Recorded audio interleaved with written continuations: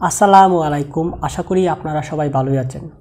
আমি আপনাদের সাথে আছি সাদবান নাসিব। আজকের এই ভিডিওতে আপনাদের সাথে আমি আলোচনা করব বিটকয়েন যে আছে, সেই বিটকয়েনটা বাংলাদেশে ইল্লিগ্যাল। বাংলাদেশে কোন কারণে বাংলাদেশ সরকার এই বিটকয়েনটাকে ইল্লিগ্যাল করছে এবং ইল্লিগ্যাল করার পরে আমাদের কি ক্ষতি হতে পারে বা কি ক্ষতি হচ্ছে এই সব কিছু ওভারভিউ দিয়ে আপনাদেরকে আমি জানানোর এবং শেয়ার করার চেষ্টা করব। সো ভিডিওটা লাস্ট পর্যন্ত দেখলে আসলে আপনার অনেক কিছুর প্রশ্নের উত্তর পেয়ে যাবেন আমি আশা করি। সো ভিডিওটা লাস্ট পর্যন্ত দেখার অনুরোধ রইল। সো চলুন শুরু করা যাক। বিটকয়েন এই কথাটার সাথে আসলে আপনারা প্রায় সবাই পরিচিত যে একটা ক্রিপ্টোকারেন্সি ডিজিটালাইজড একটা কয়েন যার মাধ্যমে লেনদেন করা যায়।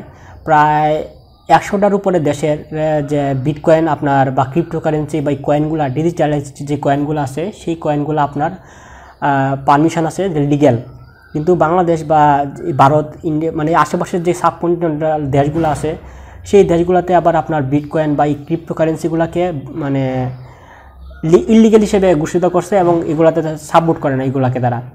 এগুলো যদি কেউ ইউজ করে বা ট্রানজ্যাকশন করে ট্রেড করে, বা ইন থেকে কেউ টাকা ইনকাম করে সেগুলোকে অপরাধ হিসেবে ক্রাইম হিসেবে গণ্য করা হয় এবং আপনার জেল জরিমানা হতে পারে।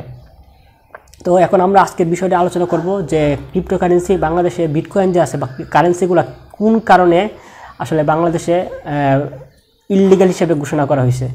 এটার মেন যে পয়েন্ট আছে সেটা হলো যে ক্রিপ্টোকারেন্সি যেগুলো আছে, এগুলো কিন্তু আসলে ব্লক আকারে আপনার একজনের কাছ থেকে আরেকজনের কাছে যায় ট্রানজ্যাকশন হয়, কিন্তু কে কাকে টাকা পাঠাচ্ছে এর কোনো মানে প্রমাণ থাকে না। এই কারণে যদি বাংলাদেশে এটাকে লিগ্যাল করা হয়, তাহলে যারা দুর্নীতিবাদ আছে বা যারা প্রচুর পরিমাণে টাকা ইনকাম করে, তাদের সেই টাকাগুলোকে তারা বিটকয়েনে ওয়ালেটে কনভার্ট করতে পারে এবং সেগুলোকে বিদেশে পাচার করার সম্ভাবনা থাকতে পারে। আর বিটকয়েন যেহেতু কোনো প্রমাণ থাকে না, কার কাছে কে টাকা রাখতেছে তাহলে এই যা অপরাধীগুলো আছে, সেই অপরাধীগুলোকে সহজে ধরতে পারবে না। আর একটা বিষয় হলো, এই বিটকয়েনের মাধ্যমে ক্রাইম যে আছে ক্রাইমের যেগুলো পেমেন্ট করা হয়, প্রায় বেশিরভাগ পেমেন্টই করা হয় বিটকয়েনের মাধ্যমে। কারণ কে কাকে দিয়ে ক্রাইম করাচ্ছে বা কে ক্রাইম করতেছে দুজনের যে টাকা আদান প্রদান হয়েছে এটার কোনো প্রমাণ থাক না থাকার কারণে আসলে যে সন্ত্রাসী তাকে বা যে অপকর্ম করে, তাকে সহজে ধরা যায় না। আর এই কারণে বিভিন্ন ক্রাইম এবং বিভিন্ন অপরাধ জগৎ থেকে দূরা- রাখার জন্যই বাংলাদেশে আসলে এই বিটকয়েন বা ক্রিপ্টোকারেন্সিগুলোকে ইলিগেল হিসেবে ঘোষণা করা হয়েছে। কিন্তু ইলিগেল করার কারণে আমরা কিন্তু অনেক পিছিয়ে যাব দুনিয়া থেকে বা বিশ্ব থেকে। কারণ বিশ্বের প্রায় অনেক দেশই এই ডিজিটালাইজড বিষয়গুলোকে তারা তাড়াতাড়ি অবজার্ভ করতেছে বা গ্রহণ করতেছে। যারা তাড়াতাড়ি গ্রহণ করতে পারবে, তারাই কিন্তু আগে যাবে।